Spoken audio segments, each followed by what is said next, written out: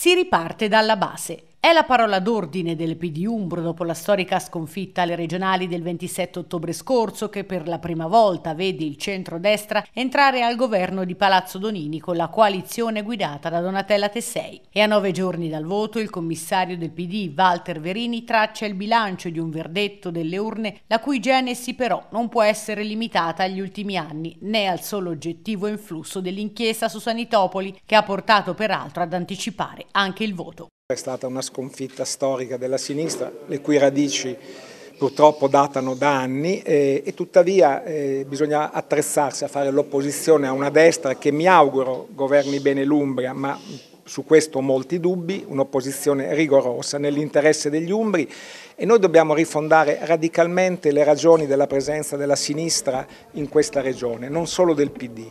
Il PD pur ammaccato con il suo 22,3%, quasi un quarto degli elettori, eh, deve svolgere la sua parte. Adesso ci sarà un congresso, io spero un congresso aperto, il più possibile ehm, di discussione libera, libera eh, però che guardi al futuro e tutti noi, eh, chi come me è in uscita e chi invece, le generazioni più giovani innanzitutto, tanti nostri sindaci sono, sono sul pezzo, dovranno svolgere questa discussione. Io mi auguro sapendo che è in gioco l'interesse della sinistra in questa regione, del futuro della sinistra e non i singoli destini personali.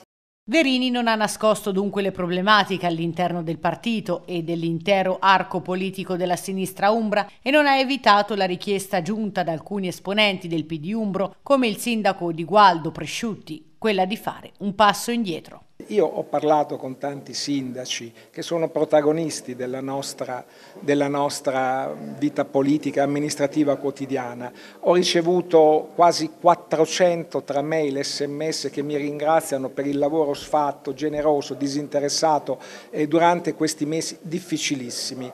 Ho ehm, eh, ricevuto una, una lettera di ringraziamento non formale da chi mi ha nominato, che è il segretario nazionale Zingaretti. Ho ricevuto la solidarietà di una ventina di segretari di circolo, mi creda, non ne funzionano tanti di più in questa regione purtroppo.